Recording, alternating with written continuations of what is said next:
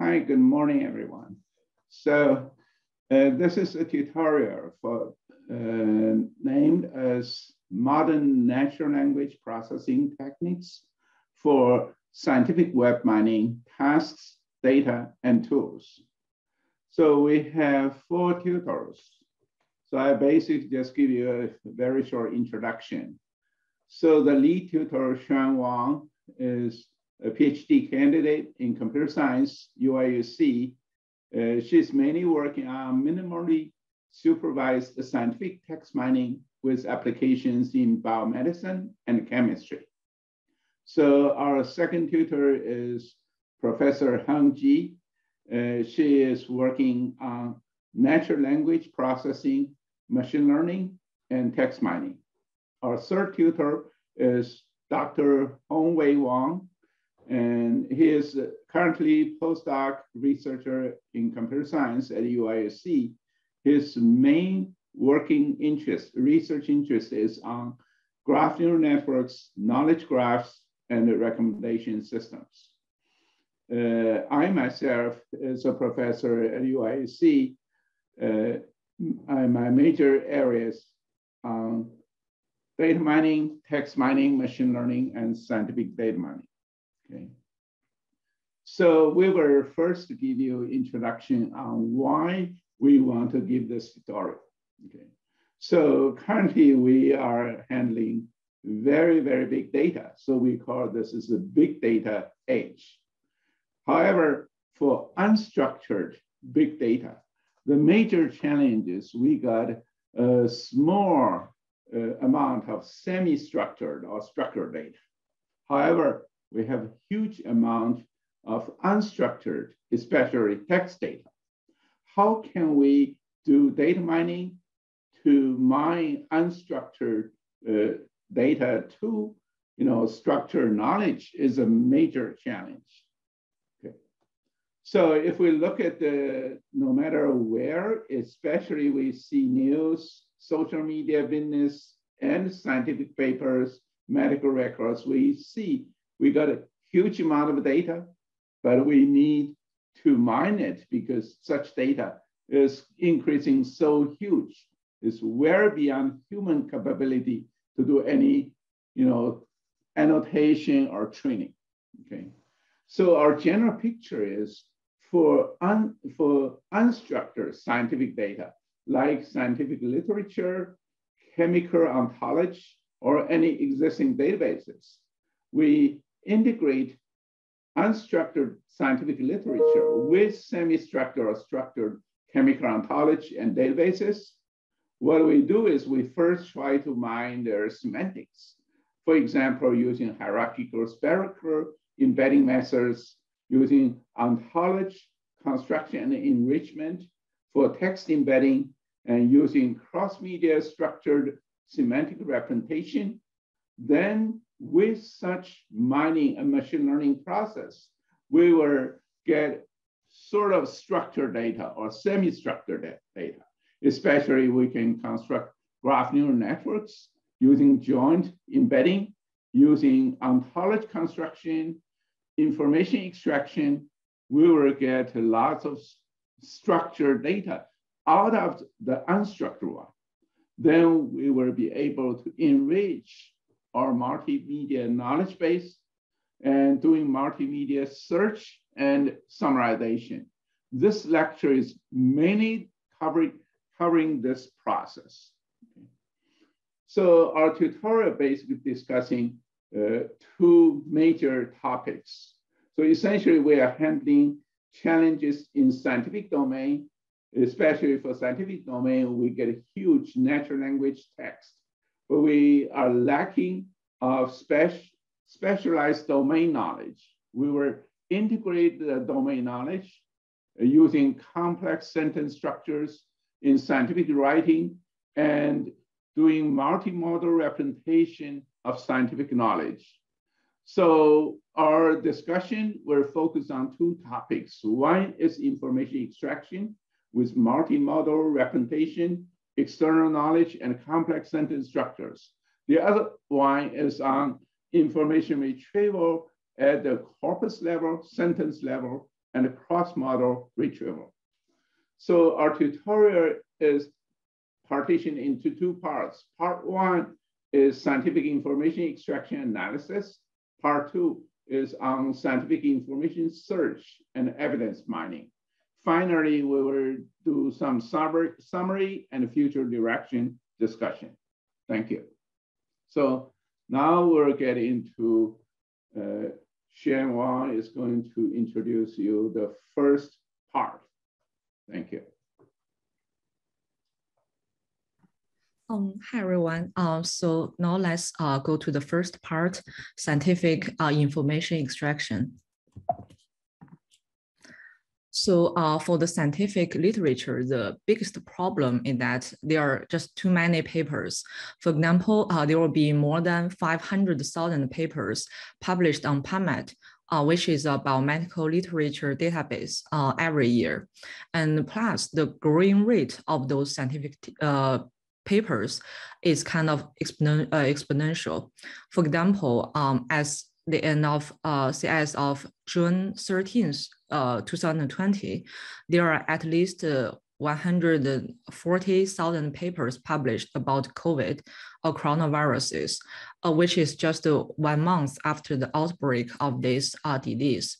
Uh, so we can see that given this uh, rapid uh, rate of publications of scientific papers, especially, especially for some preprints that are without peer reviews, uh, there are many uh, scientific literature results that are kind of uh, very unorganized, and it is hard for human to directly uh, derive much knowledge from it.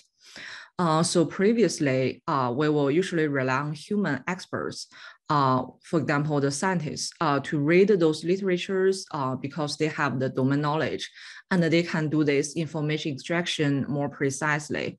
however, as we see that uh, currently the human reading ability almost keeps the same across years. So it is very hard for human to keep up with the uh, exponential growing rate of the scientific paper published every year.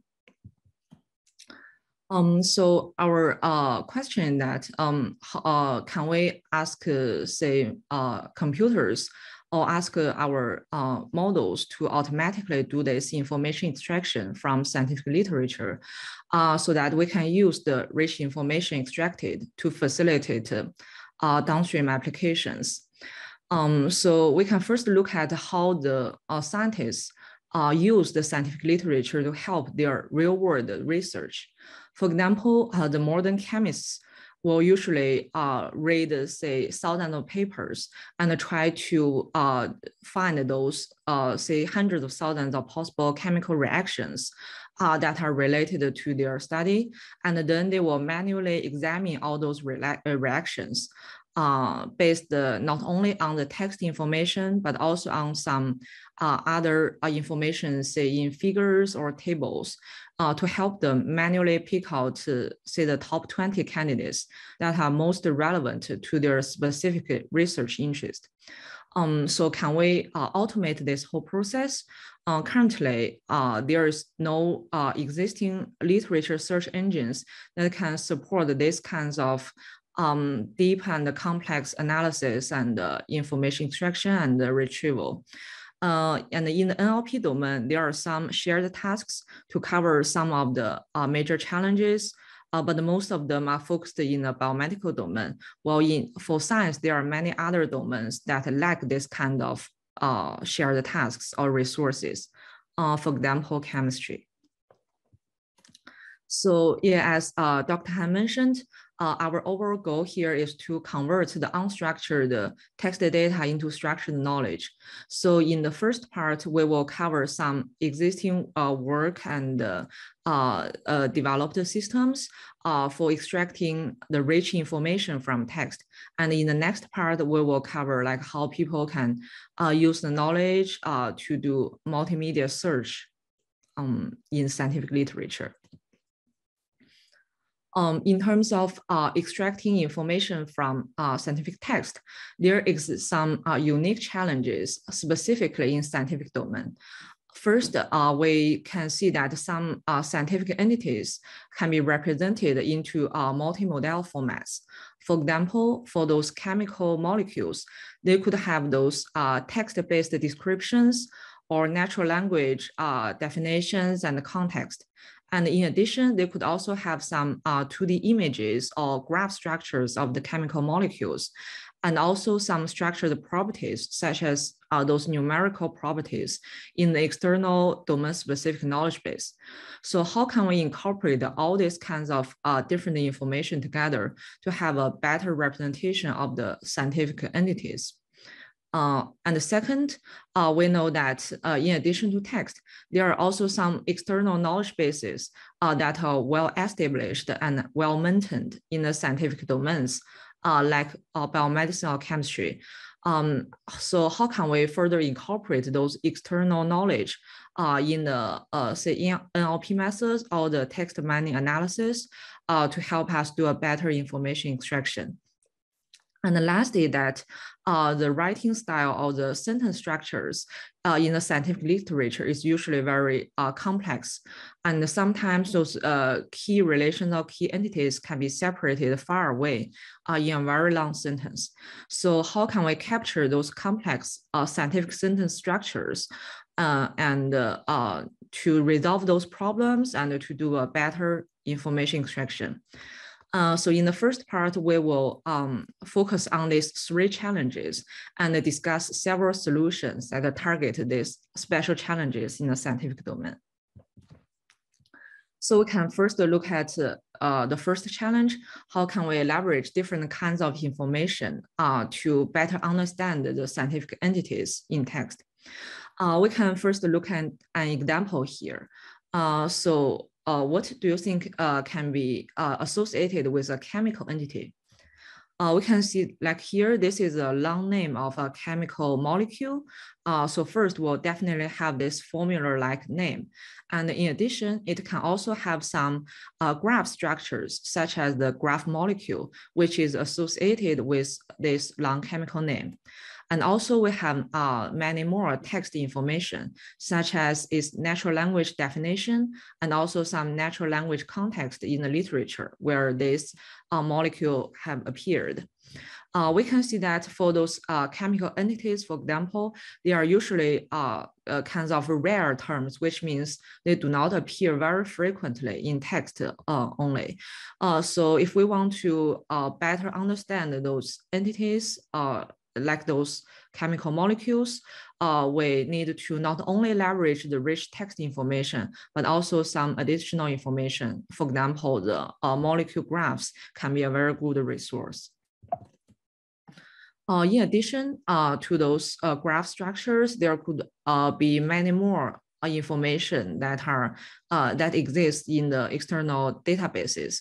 For example, uh, for the same uh, long molecule, it could also have some uh, properties associated in the PubChem uh, database, like those numerical values such as exact mass or topological polar surface area, uh, those are also very important uh, properties of this molecule. And if they can be further incorporated, it will help us better uh, understand um, the meaning or the uh, property or the functions of this molecule. So uh, in this part, uh, in this first challenge, uh, we will introduce two work. The first one is ChemNER, which is a fine-grained chemistry named entity recognition with ontology-guided distant supervision. So this one mainly focuses on the text information and some uh, ont ontology and database information associated with those chemical uh, entity names. So here our task is that uh, given an input corpus with all those raw sentences, we want to uh, identify those mentions that are relevant to uh, those chemical entities. And also we want to assign the most appropriate fine-grained name to each entity uh, in the text. So the uh, overall framework of this ChemNER uh, method is that first it will involve some uh, span detection methods to find the dimensions in the text. Then it will leverage a flexible KB matching method uh, to assign some initial uh, candidate types to each mention. After that, uh, they will leverage both the ontological structure of those fine-grained chemical types and also the local context in the long chemistry sentence uh, to help uh, disambiguate those candidate types and to find the most appropriate one to be assigned uh, uh, for each entity in the sentence. Uh, after the first three steps, people can get a very good and high quality training data automatically without any human annotation. And after that, uh, they can use it to train a sequence labeling model to further do the final prediction.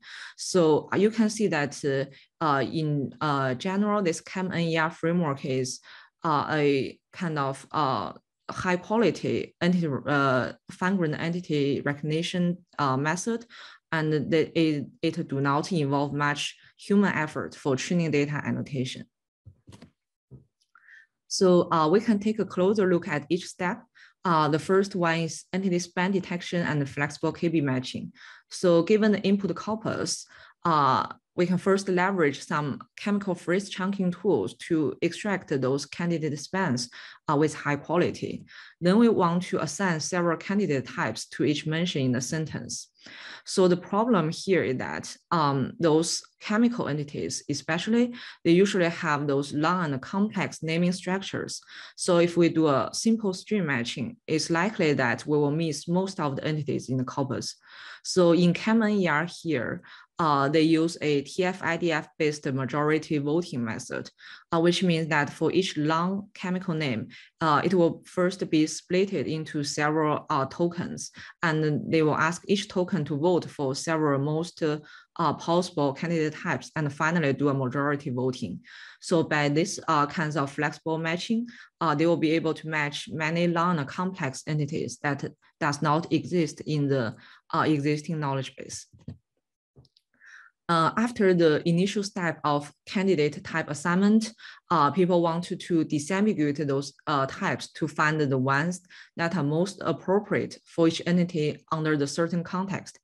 Uh, so here uh, in ChemNER, they leverage this chemistry ontology structure. Um, basically, for those fine-grained chemistry types, uh, those are automatically crawled from Wikipedia. Uh, so they first get all those Wikipedia categories rooted under this chemistry category uh, and use that to form the uh, skeleton of the ontology. Uh, then they further find those um, associated page titles for each category in the Wikipedia to form the dictionary uh, dictionaries for each entity type.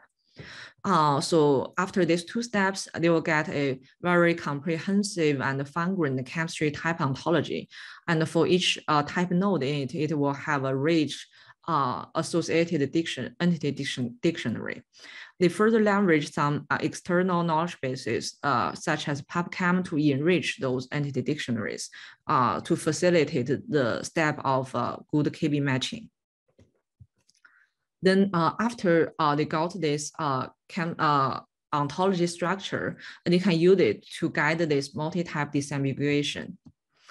Um, so uh, how can we do this uh, disambiguation? The key idea here is that uh, we assume the entities in the same sentence or paragraph, they usually follow a focused topic. For example, in this sentence, uh, one entity is palladium and it is uh, assigned with two candidate types, catalyst and transition metal. And if we look at the ontology structure in the chemistry domain, we can see that on the top levels, there are usually some uh, very uh, coarse types that are associated with some uh, large chemistry domains or uh, chemistry topics, such as chemical reaction or chemical elements. And uh, we can see that one of the candidate type catalyst falls under the branch of chemical reaction, while the other falls under the branch of chemical elements. Uh, then how can we know which one is more likely to be correct? Uh, we can further look at the context. Uh, for example, other entities in the same sentence. And we can see here it got cross-coupling and functional groups in the same sentence. And the types of those uh, surrounding entities also falls under the branch of chemical reactions and more specifically under organic reactions. So by looking at the context and also the ontology structure, um, we can uh, be more confident to say that this sentence is more likely to be talking about some chemical reactions uh, rather than describing some chemical elements. So uh, by leveraging these uh, two parts of information, we know that catalyst is more likely to be the correct type for palladium compared to transition metal. And uh, after those uh, three steps, we automatically get a large set of training data, and we can use it uh, to train a sequence labeling model to further uh, discover more new entities in the corpus.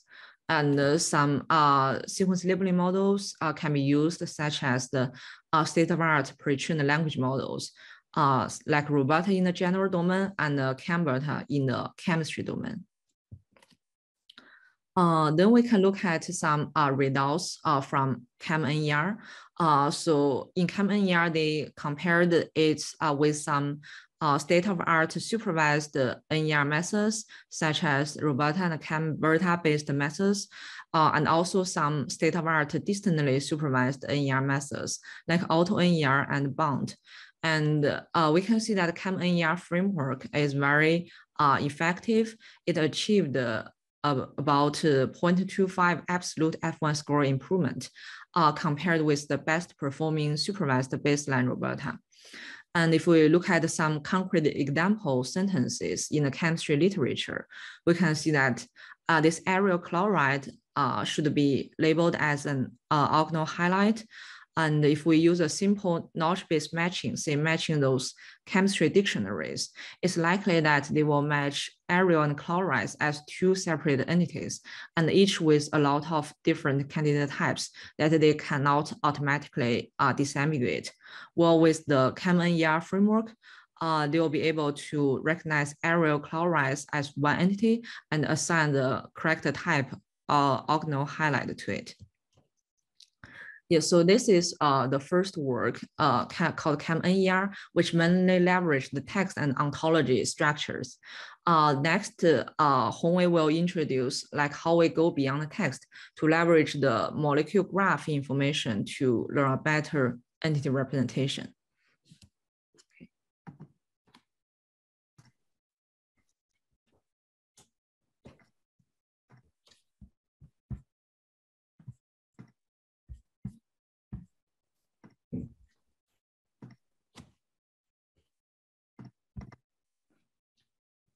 Okay, so uh, thanks, Xuan. Uh, so uh, I'm Hongwei. So uh, text is not the uh, only source of information in scientific domains. So going beyond text, uh, in this section, I will introduce another type of data in scientific domains, which is graph. Uh, graph structured data are uh, ubiquitous in scientific domains. So for example, uh, a molecule is a graph where nodes are atoms and edges are uh, covalent bonds. And a protein is also a graph where nodes are amino acids and edges are peptide bonds and hydrogen bonds. And in addition, uh, protein-protein interactions, synthetic routes, uh, program graphs, and scene graphs are all uh, graph structure data. But a natural problem of graph uh, graphs is that uh, graph structures are usually complicated, which requires uh, tedious feature engineering to extract useful information from graphs. So to address this problem, graph representation learning is proposed uh, recently to uh, automatically learn a short and dense uh, representation vector for each node. And this representation vector is also called embedding. Uh, graph neural networks uh, are a special type of graph uh, representation learning methods. So the key idea of GNN is to generate node embeddings based on local neighborhoods. And the intuition of GNN model is uh, therefore neighborhood uh, aggregation. So note uh, that for each node, if we uh, first take one step and identify its uh, first order neighbors, and then we keep doing the extension uh, to its second order and third order neighbors, then its neighborhood defines a unique computation graph. So the basic approach of GNN model is to average neighborhood information by applying a neural network. So here we use uh, this HVK to denote the uh, embedding vector of node V in the layer K. So the, uh, uh and the initial embedding vector HV0 is initialized as the uh, initial feature of node V, which is the XV here. So in each GNN layer, uh, we use this formula to update the node embeddings. So here we first average the neighbor's previous layer embeddings, and then we combine this information of, of node itself and its neighborhood uh, together, followed by a nonlinear activation function. So, okay, so uh, now let's see how uh, graph representation learning can be used in scientific domains. So here I take uh, molecule representation learning as an example.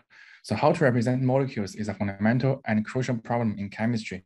So let's take uh, lactic acid as an example.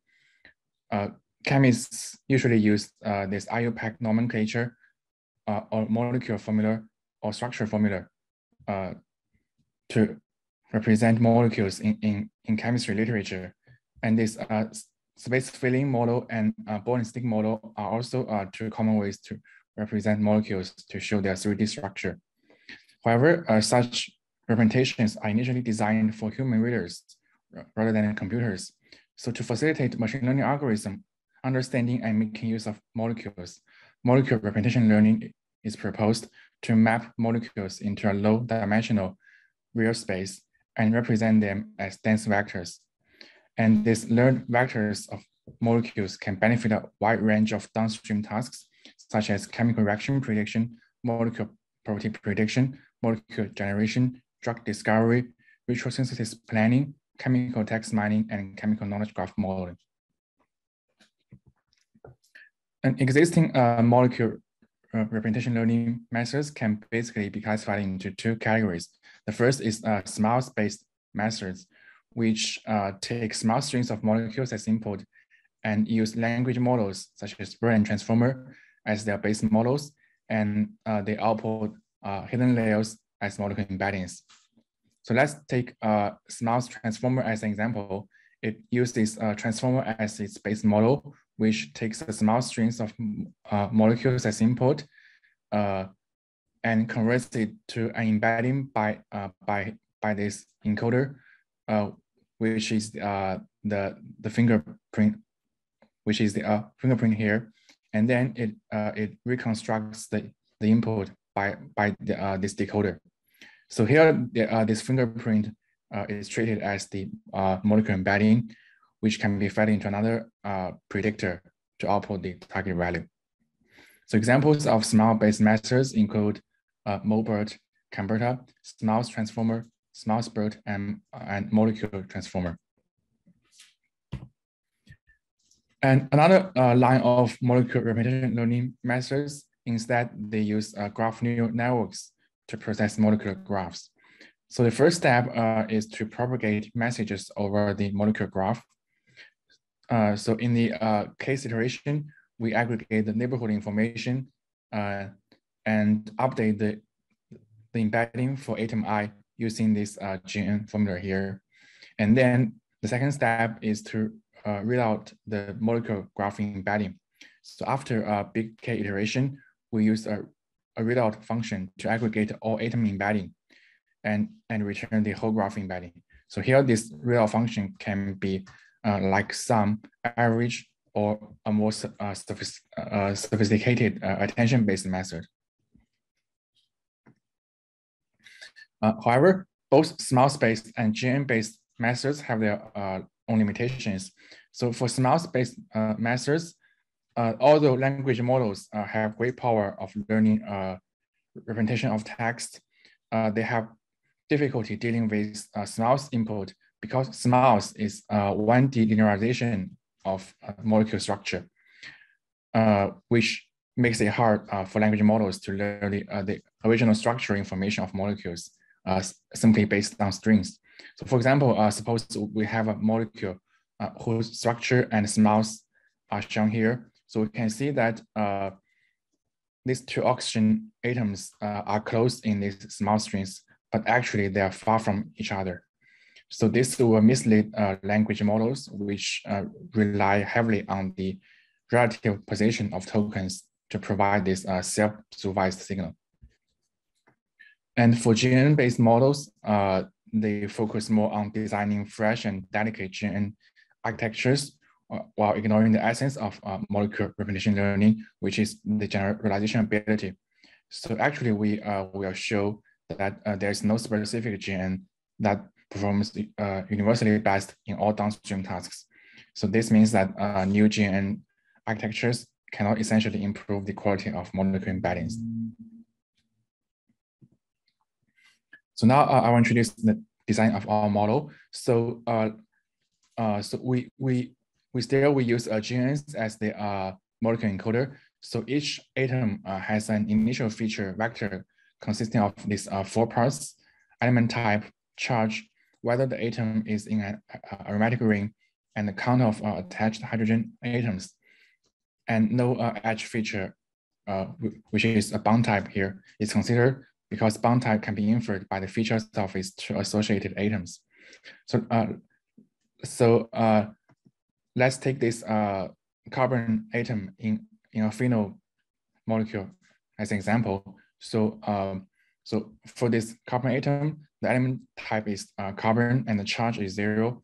And, and whether this atom is in an aromatic ring is true, and the count of attached uh, hydrogen atoms is one. So we then uh, transfer transform these features into four uh, one-hot vectors, each of which uh, corresponds to uh, one feature here. And this is the initial feature of, of atoms. And as we uh, mentioned before, existing GNNs uh, mainly focus on designing new uh, GNN architectures, but ignore the essence of, uh, of representation learning, which is the generalization ability. So in this work, uh, we propose using chemical reactions to assist learning molecular uh, representations and improve the generalization ability. So a chemical reaction uh, usually represent, so a chemical reaction defines a particular relation, this uh, right arrow between reactant set R and product set P. So a chemical reaction uh, usually represents a closed system where uh, several physical quantities retain the same before and after the reaction, such as uh, mass, energy, and charge. So, uh, so it describes a certain kind of equivalence between its uh, reactions and products in this chemical reaction space. So, uh, so our key idea is to preserve such equivalence in the molecular embedding space. Uh, that is, uh, we hope the sum of the uh, reaction embeddings to be equal to the sum of product, uh, product embeddings for a chemical reaction. So let's uh, let's see a simple example.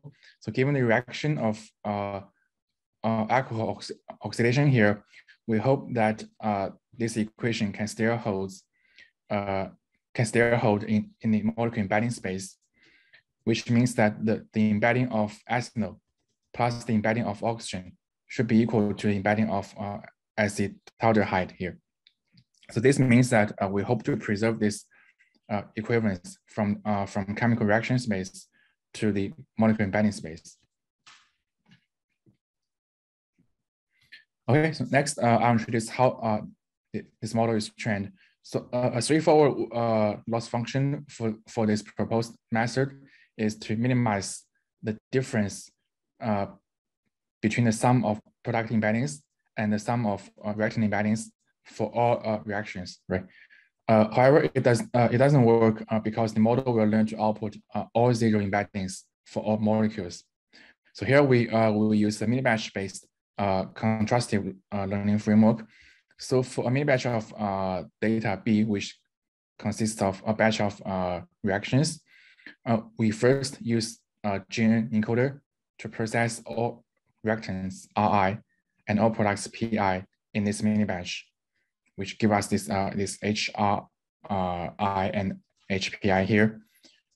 Uh, and then uh, for each, and then the uh, the matched uh, pairs RIPI are treated as positive pairs uh, whose embedding difference will be minimized, uh, while the unma while uh, the unmatched pairs are treated as negative pairs whose uh, embedding difference will be maximized. So, uh, so you can see that uh, these matched pairs are along this diagonal and all the unmatched pairs are off the diagonal. So we are going to increase the, uh, so we're going to uh, decrease the uh, value on the diagonal and we're going to increase the value for, uh, for all the uh, for all the uh, entries of the diagonal. And to avoid uh, the total loss being uh, dominated by these negative pairs, we use a margin-based uh, loss here. And here this gamma is a positive hyperparameter. Uh, for the uh, experiments, we use uh, USPTO dataset, uh, which contains about uh, 400,000 uh, training reactions and 30,000 validation reactions and 40,000 uh, test reactions. So each reaction uh, contains smiles strings of up to five reactions and exactly one product. So here uh, we give some examples of these uh, USPTO uh, reactions here. So we, we've uh, formulated the task of chemical reaction prediction as a ranking problem. So in the inference stage, uh, given a query reactant set R of a chemical reaction, we treat all products in the test set as a candidate pool C. Uh, we first use the trend model to calculate the, embedding of the query and the embedding of all the uh, candidates. And then we rank all the candidates based on the uh, based on the uh, L2 distance between uh, between this reactant embedding and HR uh, and all the candidate product embedding HC. And then the ranking of the ground truth product can be used to calculate the, the, the mean reciprocal rank, the mean rank, and, and hit value at uh, 1, 3, 5, and 10. So here's the result of our proposed uh, model MolR, and we use uh, different GNNs as, as the uh, molecule encoder.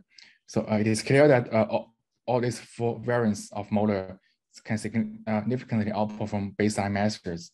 For example, the MRR improvement of MolR tag, or the best baselines, this um, MolBERT FT2 is uh, 14.2%.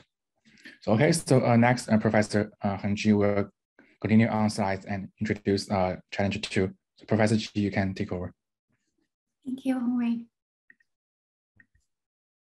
Hello, everyone. So I'm going to talk about the second challenge and the third challenge very briefly. Uh, so the second challenge is that scientists wrote the papers for scientists, so they don't bother to explain many of these terms, abbreviations. For example, in this sentence, you can see all of these uh, entities, they are not defined in this context. So if we use what we normally do in natural language understanding, trying to use the contextualized embedding from the sentence level, it won't be able to capture the meaning of these terms. So our first idea to tackle this challenge is to link these known entities to external human constructed database. So this kind of uh, external databases are widely available for many scientific domains, such as chemistry and biomedical domains. So the idea is simply to construct a convolutional neural network so that we can uh, each, uh, each block basically encode the multiple uh, convolution filters for uh, of different window size in the sentence, and then we can compare the uh, similarity on the character level and also content level with the external entries in the database. So um, why that's good? Because the um, external database usually provide us very powerful property descriptions and definitions for these entities. So for example, this one from the database, we not only know the definition um, describing the properties, we also know the structure information, such as um, their um, functions, their roles usually played in different context. So we call this as an actual brain. So it's similar to when human read a scientific paper, when you cannot understand anything, you usually look up it in a dictionary or in a database. So um, him just giving some examples. Um, so for example, this FKBP12, can be a protein or can be gene. And an external database will tell us it's more likely to be a protein because it has a lot of interactions with other entities. And these entities are also aligned with the original entities in the sentence. So when our machine learning model reads this sentence, we not only read the initial input text, but also this actual constructed um, graph. So we basically merge the initial graph and the uh, actual graph together into the final graph.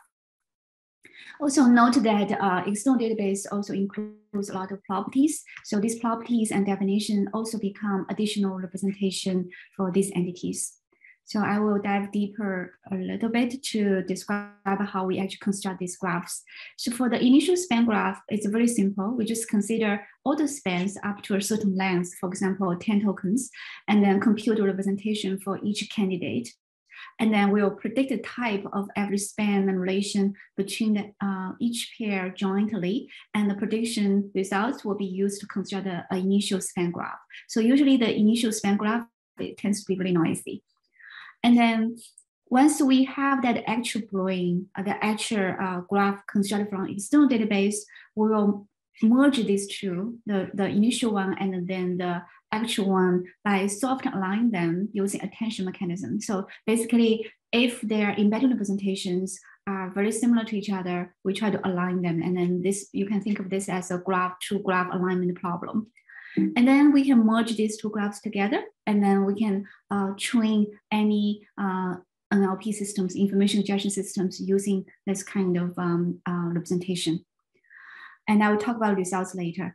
And the third challenge is that um, sentences tends to be very complex in scientific literature. They are usually more complex than what we normally see in news domain. So here we show some comparison about the distance between a event trigger. So event trigger means the word that usually clearly indicates a event or relation. So the trigger here usually is the first step we need to identify before we extract other information. But if this trigger is far away from the candidate argument, argument means participant, the entity participating in this event, then usually the sequence to sequence model will completely fail. For example, here, this argument is uh, at the beginning of the sentence and this trigger is almost at the end of the sentence. Um, we compute the average distance between the trigger and argument in news domain and scientific domain. You can see uh, uh, the distance is much wider and um, it can be up to 77 words between these two um, uh, knowledge elements. So this brings additional challenge. So how can we tackle this challenge? Fortunately, a lot of the semantic parsing uh, techniques in natural language processing can be used to uh, scientific domain without any problem because they are not uh, dependent on the news domain. So we decide to go ahead to apply those techniques so that we can get a semantic graph for each sentence. So for example, here initially change this trigger appears at the end. It's far away from CTF, OTF1 and so on. But after we uh, construct this semantic graph using semantic parsing, you can see the CTF and OTF1 and OTF2 all become the neighbors of this uh, trigger word. So this significantly narrow down the scope so that when we do encoding, we can encode the whole graph so that we can gather uh, more local neighbors. And when we do decoding, we can do top-down uh, decoding in this graph instead of left to right uh, decoding as we normally do in sequence um, decoding like beam search. So um, combining this idea with the actual brain idea we described, we will have two graphs. Basically, one is the semantic parsing graph from the initial sentence. The second one is the extended graph from the external database. So the final graph uh, encoding will look like this in the bottom. Um, so we, for each entity, we know its sentence content. We use that to initialize representation, and then we have this merged graph to uh, update the representation. And then um, basically the message will be parsed across this whole uh, merged graph. So we have the global um, uh, uh, graph coming from the external database, and then we have have the sentence level um, semantic parsing graph, and then we merge them together. Then message parsing is uh, performed across this merged graph. And then finally, we can train the model um, using this uh, graph encoding. And you can still take advantage of the sentence level representation because we can always use those contrast embedding to initialize the node representation. Okay, so here we are showing some uh, initial results. So we have um, tried to apply this kind of techniques to different benchmarks. Uh, so here uh, we can see the entity and relation extraction performance both got improved compared to uh, SOTA. I think this uh, performance is still the best in this leaderboard. And uh, event extraction, uh, we first tried on the biomedical domain GENIA this um, data set, and we can see the performance for um, both adding actual brewing and uh, uh, semantic parsing can help a lot. Um, and then we can look into some examples. So here you can see that the semantic parsing graph significantly improved the performance about identifying the arguments. So for example, initially this link was missing, but since this link appears in the AMR graph, so the model was able to know this is likely to be another participant and add this link into the output. Similarly, the external brain, the actual brain will help us identify this uh, CII as a thing of transcription, just because the additional external database will tell us um, there's a um, uh, uh, role this entity usually play in this kind of event.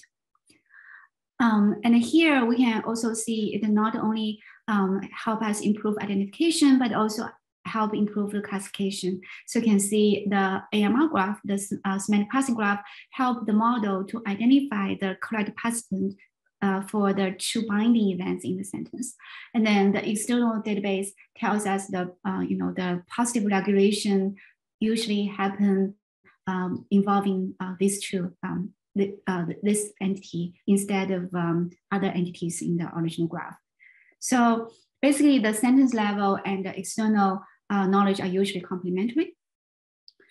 And uh, as uh, mentioned at the beginning that uh, most of people in the community have been working on biomedical domain. Uh, so there's a very big community called BioNLP. They have been doing great efforts for almost two decades now, but uh, we are still lacking of uh, data sets and resources for the chemistry domain. So we went ahead to construct this chemistry information extraction benchmark that will include entity extraction, relation extraction, event extraction uh, by experts. So the data set is relatively small compared to the biomedical domain, but it's a good starting point. Uh, similarly, we also try to consider some benchmark for some specific topic like COVID. Um, the reason is because the ontology usually looks quite different from the general biomedical domain. We have some special focus on special uh, entities and events. So this is another new benchmark we released um, last year. So um, we also try to apply this to real applications such as drug repurpose and report generation. So the reason we are doing this is because doctors and scientists usually need to spend a lot of time to try to rank the candidate uh, drugs. So our idea is that let's try to convert the huge amount of scientific literature to multimodal um, knowledge graph as we described in the, um, you know, in Hongwei's talk and what Xuan uh, uh, described about fine-grained information extraction and what I talked about relation event ingestion, putting them together, we can have this multimodal knowledge graph. And why this is useful? Because now, um, even before we do any clinical trials for these drugs, we can then check, for example, how, what are the potential side effects this drug might cause COVID. So um, of course, we have not done any experiments on COVID yet, but since COVID belongs to the same category as these diseases, so for these diseases, we already have reported results to show how they are connected with the drug.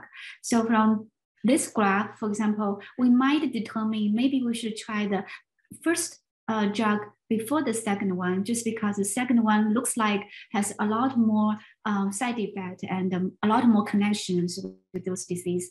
So um, uh, by looking at this uh, graph, if the doctors and scientists don't trust any of these results, they can always go back to uh, read the original sentence and the, the multimedia knowledge graph we showed because uh, each link and each node here has a detailed evidence in the original literature.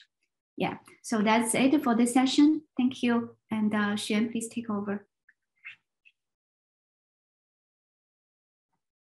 Uh, thank you, Heng. So, yes, so now uh, we can go to the uh, second part, um, the scientific information retrieval.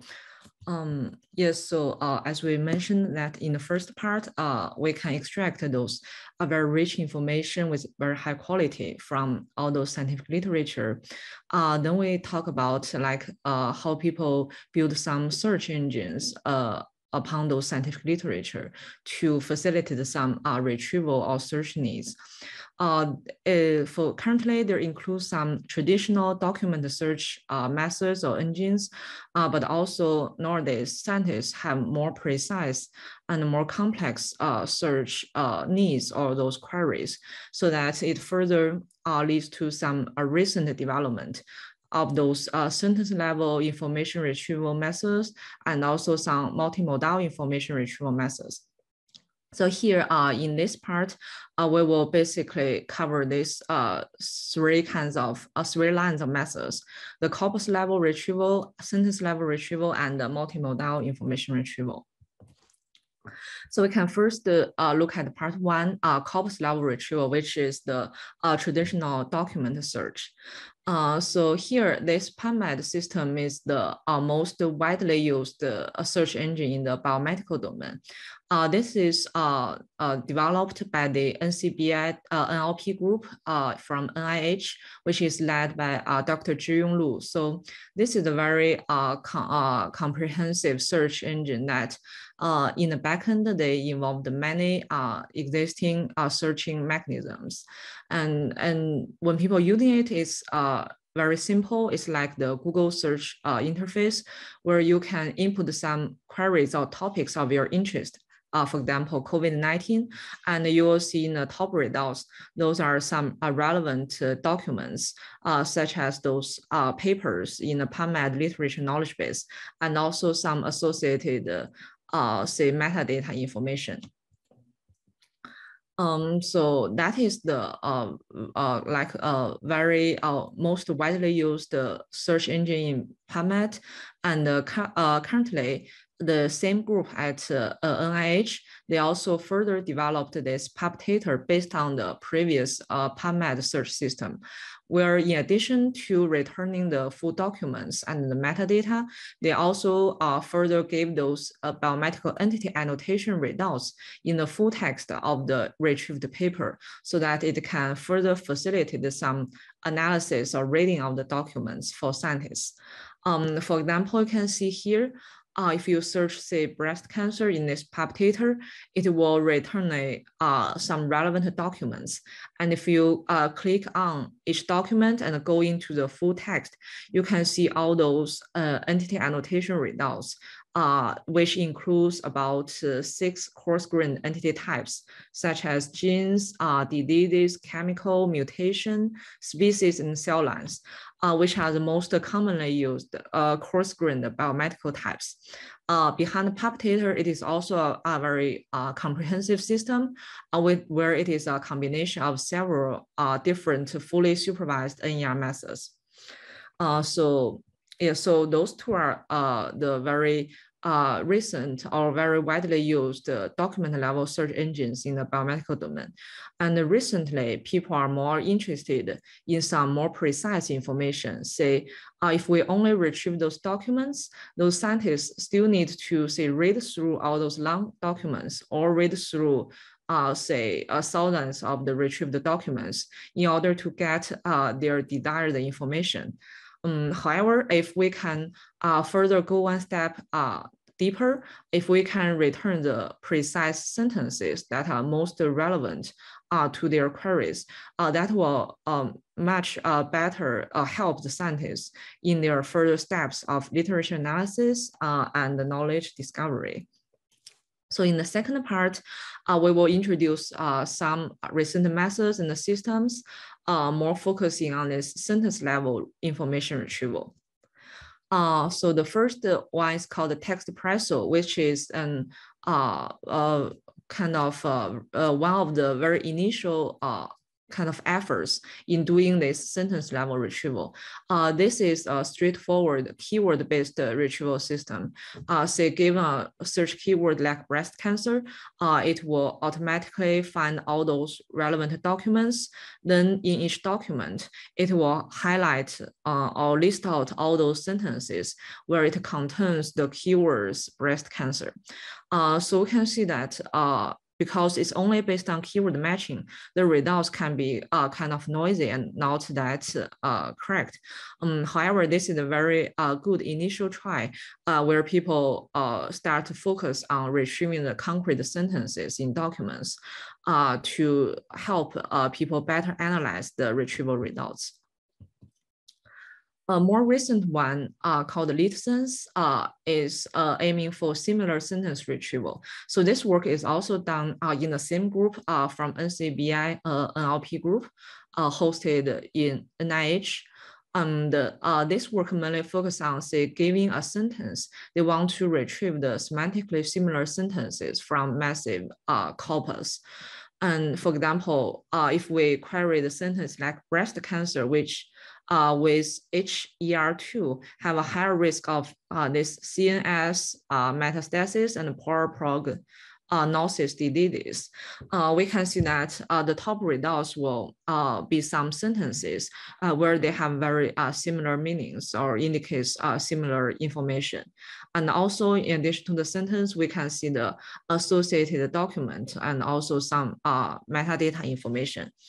Uh, so behind this uh, system, uh, it is a combination of the keyword-based match and also uh, the neural sentence embedding models. So they basically uh, combine the keywords and the sentence embeddings to help this uh, similar sentence retrieval system.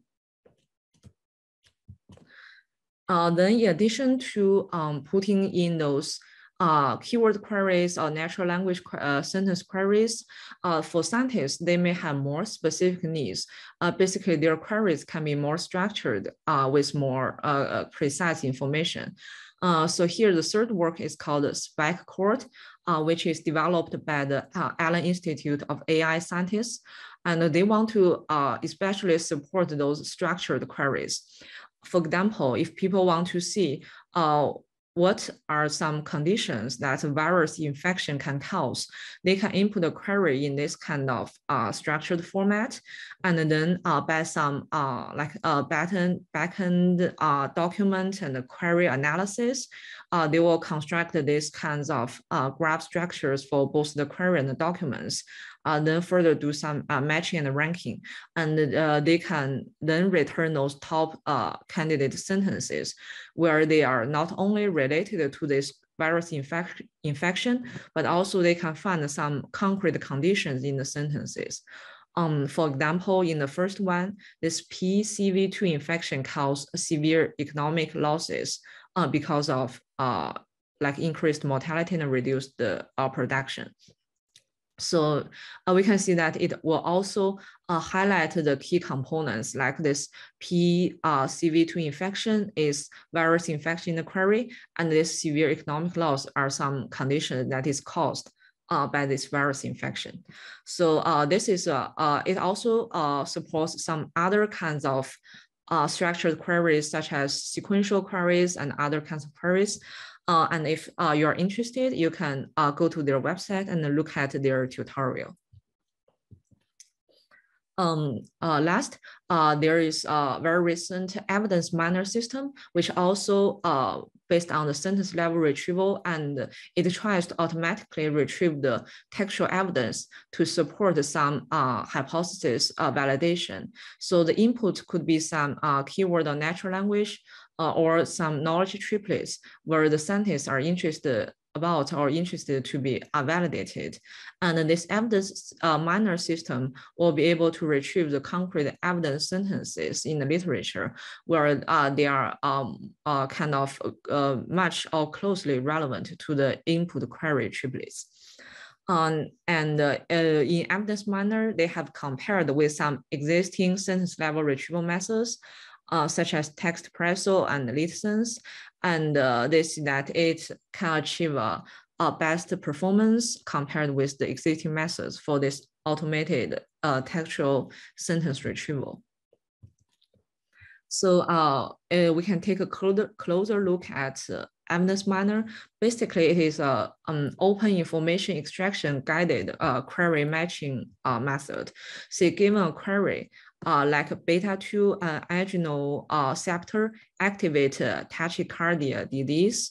Uh, we want to find those evidence sentences uh, in the in the documents where it should be a, a, a, very relevant evidence sentence for this query knowledge triplet. And as we see that those scientific sentences are usually very complex, and it with uh, it will have these complex sentence structures and also um, many for, uh, far separated entities uh, and relations. Um, so here in evidence miner, it will first uh, do entity recognition and a synonym uh, grouping for all those entities in the text. And it also leverage some uh, pattern-based open relation extraction to try to extract those concrete knowledge triplets in, embedded embedded in a sentence and further uh, group some synonym relations together. So that whenever we got a, a query triplet, uh, they can do this kinds of um, triplet matching uh, so that if a sentence have more uh, uh, knowledge triplets matched with this query triplet, it's more likely that this sentence should be uh, the relevant evidence uh, to this query so here we can uh, further look at some, uh, say, uh, cases uh, where evidence miner has been applied in the COVID-19 uh, evidence mining. For example, uh, if the users are interested to see um, what are the evidence supporting UV or ultraviolet can kill SARS-CoV-2, uh, they can input these kinds of uh, query in the system, and uh, we can see all those top results are very relevant uh, to this query, such as whole UV inactivated SARS-CoV uh, bearing multiple epitopes and proteins is a candidate vaccine against this virus. Uh, since uh, in the backend, evidence miner also uh, indexed some of those uh, structured like re relational patterns. So it also supports some uh, structured query search uh, in the format of relational patterns. For example, if people want to see what are the uh, coronaviruses that can cause some uh, disease or syndromes, they can input a query in the relation pattern format, like coronavirus cause disease or syndrome. Uh, and we can see in the top ranked results, there are many related uh, sentences with the concrete information. Uh, for example, these uh, several kinds of coronaviruses can cause mild uh, self-limiting upper respiratory tract infections, uh, which is a related disease or syndrome. Since uh, this evidence miner system is built uh, without and uh, requiring uh, domain uh, expert efforts for training data annotation, and basically based on those distantly supervised entity recognition methods, open relation extraction methods, and also unsupervised the sentence retrieval methods. Uh, it is very easy to adapt this system to different domains. So here is uh, another example of how evidence miner works in the chemistry domain uh, for chemistry uh, literature analysis. Uh, similarly, people can um, input queries like a Suzuki coupling and also want to find their related uh, catalyst. Uh, they can put this kinds of query in the system and they can see that in the top ranked sentences, well, we will find like this Suzuki cross-coupling polymerization uh, which has a highly effective catalyst system uh, with those kind of things. And also, uh, because we have those um, entity types and relational meta patterns indexed in the backend, it also facilitated some, uh, say, type-based or relation pattern-based search. For example, uh, if we search the type time uh, or the type C temperature, uh, which are some very uh, frequently used, uh, say, numerical types in the chemistry domain, uh, we will be able to find all those, uh, say, time entities that are are most uh, frequently discussed in those COVID, in those Suzuki coupling related papers, and also those concrete sentences where this time condition has been discussed. Yeah, so uh, that's uh, basically for the first two parts uh, of document and the sentence level retrieval. Then Heng will talk about the third part uh, of uh, multimodal information retrieval. Okay. Thank you, Xuan. Yeah, so all the work and most of the work that Xuan has described as using a natural language as query. So it's our you know traditional information retrieval paradigm. However, the most fascinating thing in the scientific domain is it's always multimodal. So for example, if we want to search for a molecule, you can describe it in natural language sentence. However, maybe the most efficient way is just to draw a graph like this is what I'm looking for, and can you return the latest uh, papers, right? So, um, and, or on the other hand, you can also describe in natural language about a new molecule you have uh, in your mind, but uh, you want to search for the uh, images and also the descriptions uh, for that molecule using your natural language query. So basically, we need to bridge this kind of a two data, different data modalities. So how, could, how to do that? The first general um, idea is just consider this as image, right? Like what we have done a lot of work on multimodal representation in the regular image and the natural language. So for example, you can simply use a cross-modal attention to compute the mostly likely aligned uh, subgraph and maybe some phrases in the sentence. If you have lots, lots of pairs like this, right? So if you can gather together uh, thousands or tens of thousands of pairs, then maybe we can simply consider this as alignment problem. So doing that, um, we can do some very basic uh, retrieval. So uh, the performance is okay. So we can see, you know, top 10 accuracy is close to 90%, so which is okay. However, this is not what all we want, right? Because using this kind of method, you can easily align some tokens and phrases with some substructure. And in most cases, the association between the token and the substructure makes sense. So these are showing some results. Uh, for those of you who have domain knowledge, you might uh, see all oh, these make sense. However, the ultimate goal is really try to build a connection between these two data modalities. For example, if I know nothing about chemistry, I want to be able to understand what this image or this uh, smile string means, right? Uh, so if the system can generate a very comprehensive natural language description about this molecule, tells me that you know it has a potential role played in this reaction, or maybe uh, it has such such functions or properties, that would be very very useful. And on the other hand, if a chemist wants to describe their new ideas, right? Like, for example, they are going to replace this function with another function, and then they want to see how the final mo modified molecule or gen newly generated molecule looks like. Then if we can translate their natural language into the molecular structure automatically, that will be great, right? So we want to do the bidirectional translation automatically. So again, this whole idea is not really new because we are doing that very often between regular images and uh, natural language sentence or between a foreign language and English, for example. So um, the molecular images or smile strings are significantly different from what we normally see in a regular image. For example, this image, you basically describe what's in this visual scene. And uh, occasionally for some news images, you may want to incorporate some background knowledge, you know, indicating location and so on. But um, molecular structures are not always visually displayable in this graph structure. In often uh, cases, you need to really look into the implicit properties. So that means we need huge amount of training data if we want to follow the attention idea just to do alignment. So it's not a very feasible solution. Um, but in spite from the recent great advancement on large scale language model, we decided to take the smile string and consider that as a foreign language. And uh, let's do pre-training on the different uh, single data modalities. So if, for example, for each smile string, we can try to predict uh, what should be filled in into this blank. And similarly, we can do that for the natural language side. We can predict, you know, how likely for this token to appear in this context, and then uh, combining uh, these two pre-training, and then we can align the implicitly which token might be aligned with, with, with which part of the smile string.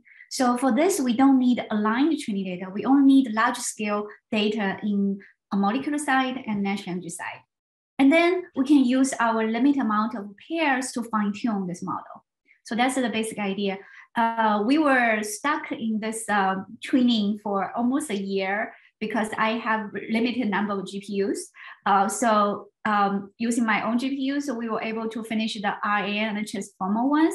And you can see the performance was bad.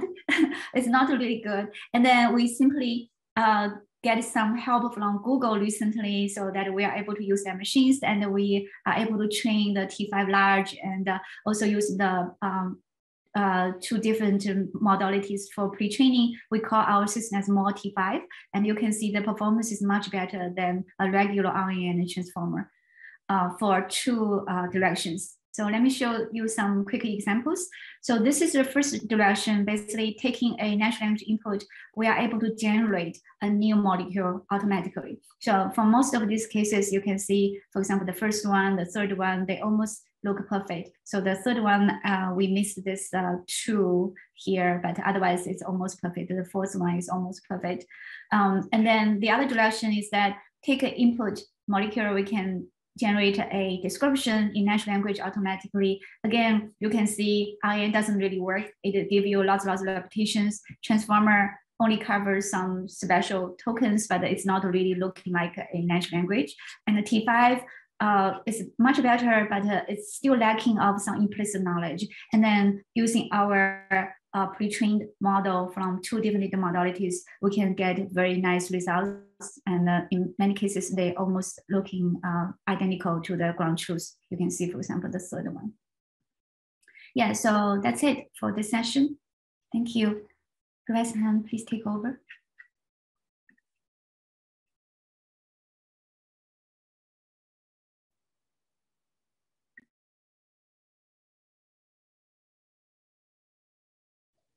Sorry, I was muted. Okay, so uh, let's start our final session. After the final session, we are very welcome to have discussions and questions.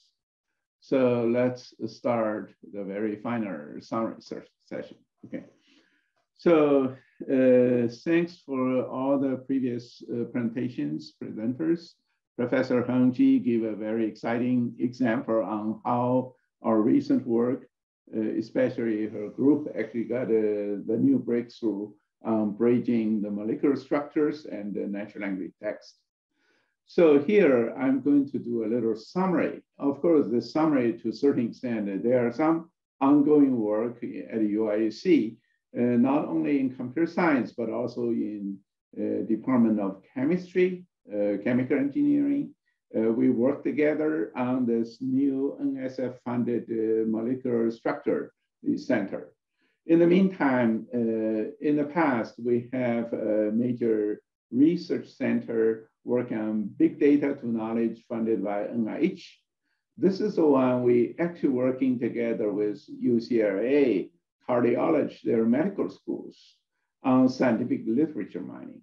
Okay, so just give you a simple example of how the sign contrast uh, works. So you probably get some idea. Actually, the computer scientists really can work with domain scientists like uh, medical researchers or chemistry researchers. So here, the story was this, okay? When we work together with medical school in UCLA, they actually give us some very challenging tasks. The task is this, okay? They say there are six major heart diseases, okay? For cardiology, they think these six major categories, very, very distinct major categories of six uh, heart problems, okay? And there are many, many proteins.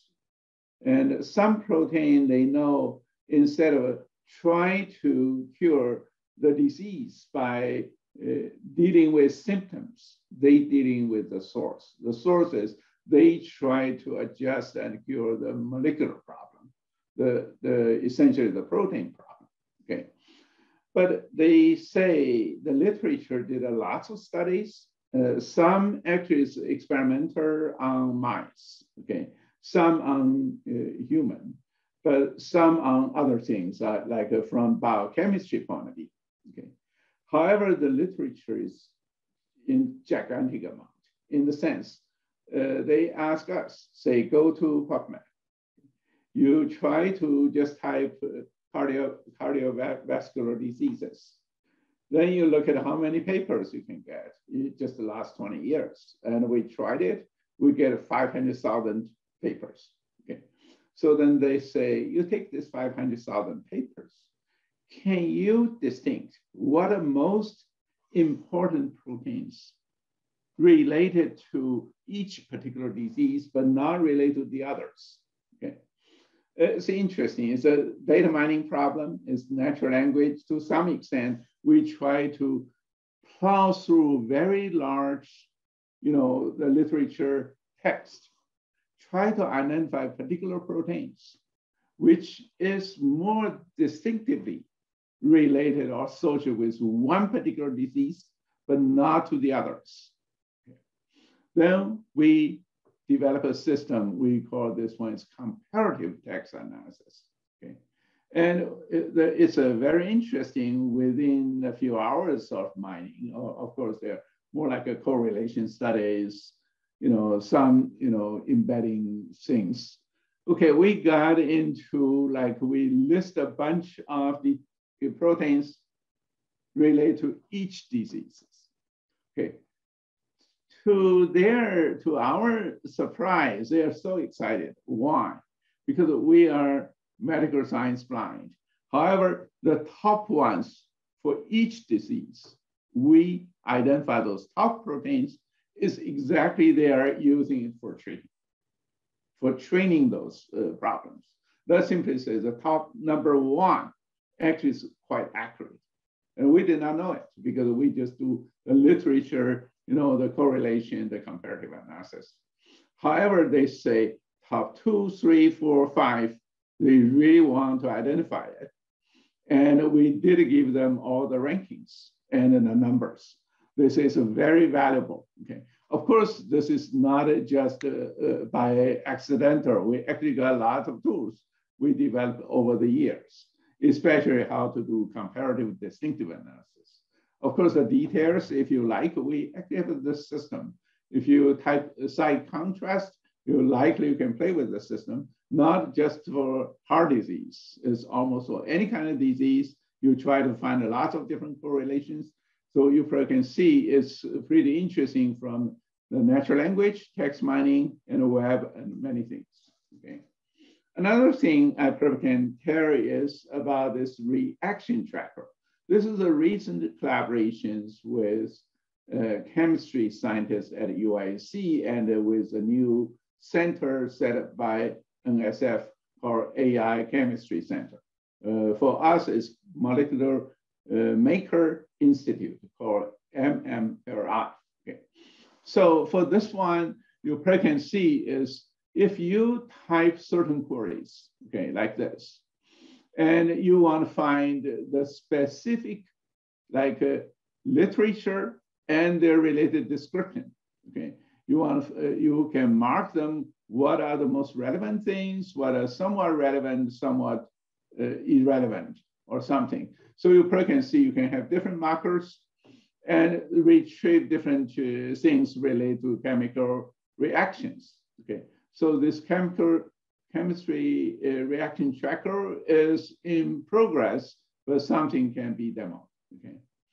And another thing you can see, especially ongoing and for the future study, uh, Dr. Hongwei Wang also mentioned about these reaction-aware molecular uh, re uh, mo molecular representation learning. So essentially is instead of thinking you are dealing with molecule, you're actually doing graph encoding, okay? And then with this embedding encoding, you actually can do lots of downstream tasks. I think uh, Professor Heng Ji just showed you you actually can do a lot of very exciting ones, mapping and retrieving. So there are lots of, uh, I think Dr. Hongwei Wang, uh, his recent ICLR paper also shows these kind of reaction, tracking, embedding, and prediction can be done in a very successful way. Okay. Another thing, actually, the groups are working together with scientists, are using massive data and uh, public knowledge bases, doing phrase mining, entity recognition, relation extraction, then finally construct these heterogeneous information networks. for scientific research, such networks leading to you know, knowledge-based construction and a refinement. Another way uh, we have been working on is working on taxonomy construction. Uh, because for almost any sciences, we already have large amount of uh, data and organized in some kind of taxonomy way. For example, for NIH, we have those MeSH terms. And for Amazon, they have a, Uh, uh, product categories. And WordNet also linking in the taxonomy uh, way. But uh, there are two things. For particular corpus, you may want to change your taxonomy to fit your need. Another thing is, even you have a large taxonomy existing, but new things keep coming, new terms keep generating. How can we maintain and extend our taxonomy in an automatic or semi-automated way? So this is a very exciting domain as well. Uh, another very interesting future direction is working on multi-dimensional text cube construction.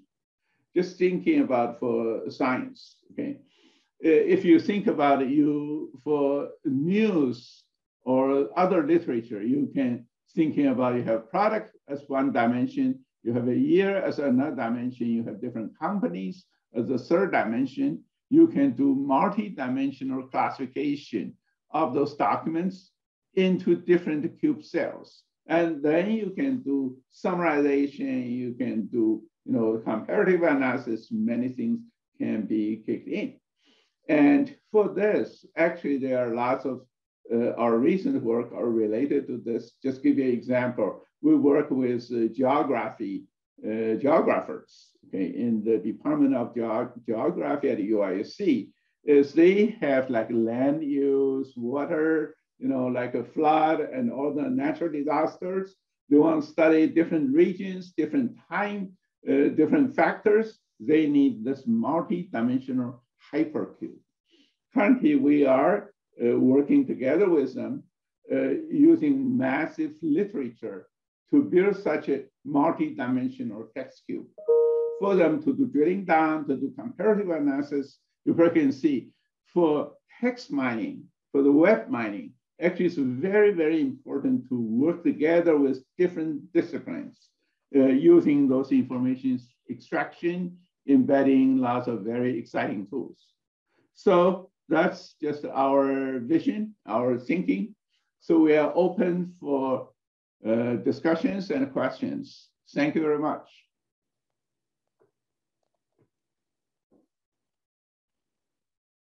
Okay, so I think we have about eight minutes to go.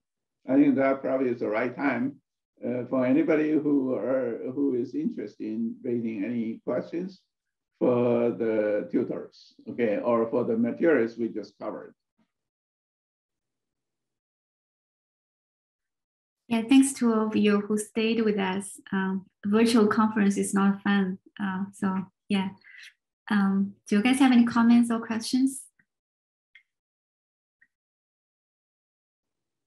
Yeah, if you uh, you are interested in anything you, you would like to have discussion, that's also uh, we welcome you to you know give us comments and uh, raise any questions for for the future work. Uh, I think that currently uh, all the team actually have been we just represent uh, our large team of graduate students, undergrad students, uh, working together with many researchers in scientific domains. Uh, like, just give you an example, like uh, Xuan Wang has been working together with UCLA, uh, UC uh, Davis, and also Harvard, quite a few researchers working on this scientific data mining. And we as a team, uh, we have been working together with uh, chemistry uh, professors and Professor Heng Ji also working with, uh, have, have, a center working on a very large agriculture center called Agriculture AI Center at UIUC funded by uh, NSF as well. So uh, I think scientists actually thinking massive amount of data is magic. You know, we can use some computer uh, and AI tools to work it out, and it's quite possible. And that progress with the recent uh, progress on representation learning, natural language processing, uh, data mining, I think things are coming together.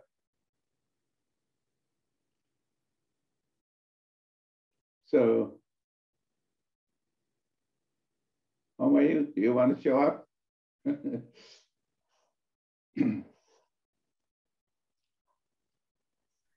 Uh, maybe does anyone want to introduce yourself? Um, if you are doing related work, uh, have any thoughts on this direction?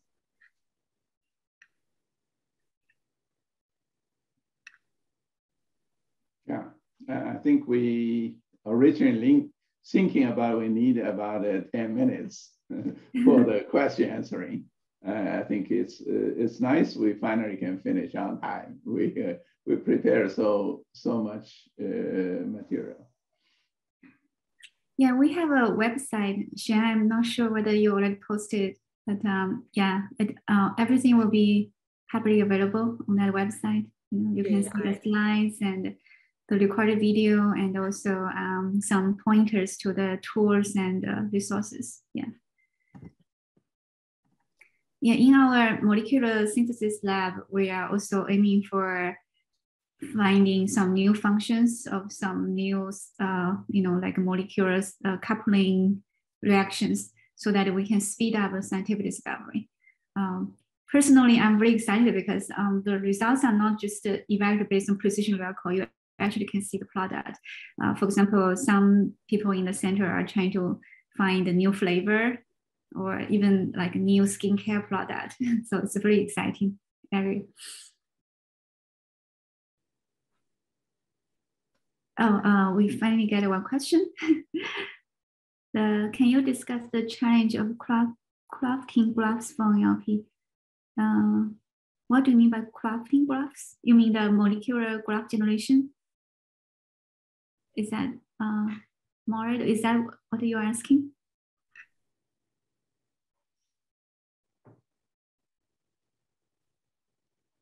Okay, um, if if that's what you're asking, uh, yeah. So I think the I'm assuming you're talking about um, what I showed uh, in the final session. So um, I'm assuming you're asking the challenges to generate this kind of graph based on this uh, natural language, right? So the uh, the main challenge is we are still lacking a good way to capture the implicit knowledge. So for example, if you look at the first sentence, it says, you know, it has a role as a blah, blah, blah, blah, right? And so all of these cannot be really uh, shown explicitly in this molecular structure. So, which means um, the output we generate tends to miss a lot of special properties. So you can see here, this one, um, initially, you know, the, the natural language really does not tell us anything about this, this true part, but uh, the ground truth has this. So this needs to be inferred from the input natural language and the generated baseline output uh, using domain knowledge. So we still need to work with the domain experts much more closely to make a further uh, advancement. So the results, if you look at the just the you know the the BLEU and bluish score, those are checking the overlapped part of the output. So um, given natural language, the generated molecule actually have about 85% um, BLEU record, which means 85% of the n-grams in the sequence of the SMILE string overlap with the ground truth. So this is pretty exciting already. But for the remaining 15% errors, we still need to capture the implicit knowledge from the domain. Um, and some of these have uh, certain constraints. Um, so you can see if you look at the, this final column here means how many of these are valid right? So uh, we still have 10% of the results are just not valid molecules. So that means there are some certain constraints that the human know, but the, the machine learning model does not know yet. Yeah. So I, I hope that answered your question. Does anyone want to add anything into this? Yeah, it's great. Yeah, I think that's uh, Hongwei also have done a lot of uh, things on the how to uh, take molecular structures and work out embedding. And that embedding to some extent can link back to the text. I myself here from the molecular structure to text is somewhat easier than from the text to molecular structures because that's actually the, the, the gap actually is much bigger. But I think uh, I really uh, got very excited to see Professor Heng Ji actually can do this, even partially. Actually, it's very exciting. I think.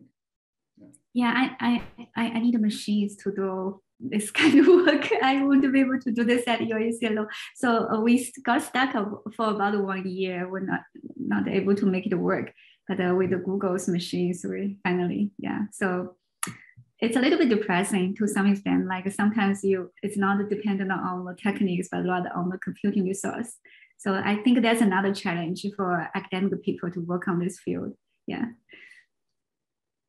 But uh, uh, Hongwei's uh, idea is also very brilliant because reactions is a very natural uh, way to compose embeddings, right? Like uh, in in regular NLP domain, if you you know try to compose queen and a king together with man and woman, that kind of composition is approximate composition, but uh, the chemical reactions is the exact composition. So A plus B, you get C. That C is an exact product. It's not like uh, the approximate embedding composition. So I think it's a very smart idea that Hongwei decided to do the embedding composition condition on these reactions. Yeah. Yeah. Thanks. We got uh, one minute over. I think I should thank uh, all the tutors and all the audience, you know, especially for audience uh, stay until the last minute. Okay, thanks a lot. Just enjoy the conference. Thank you and enjoy your conference.